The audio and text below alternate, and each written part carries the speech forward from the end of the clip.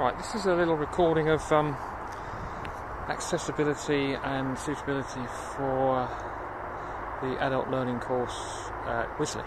Uh, it's filmed on about the 18th of July 2019. Um, there's the Beesmax colony. There's uh, quite a lot of space around the hive, so uh, I think these two pitches have been cleared recently, so with all of this, there is room for up to 12.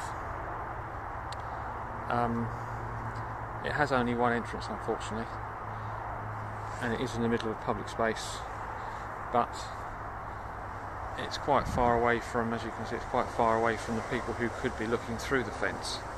So, from that perspective, the uh, proposed introductory course should be quite safe being conducted within this restricted area. Um, as long as the grass is kept to a reasonable level, um, there's plenty of room for people to move away if they need to. Um, if they don't want to be as close, there's possibilities for that as well. They can actually go and stand outside.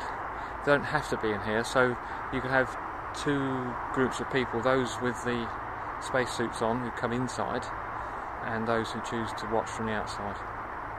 So they can still benefit as much as each other. But other than that, it all looks fairly good, really. Um, I can show them the other type, other styles of the beehive that are here.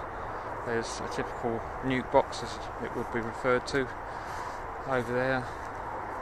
There's WBC, and I've got national inside my WBC shell so they can see that. And we can have different types of equipment to show them back at the uh, Education and Learning Centre, actually inside the room where most of the course would actually happen. So um, that seems all fine to me. It's Mark Gale, Beesmax, July 2019.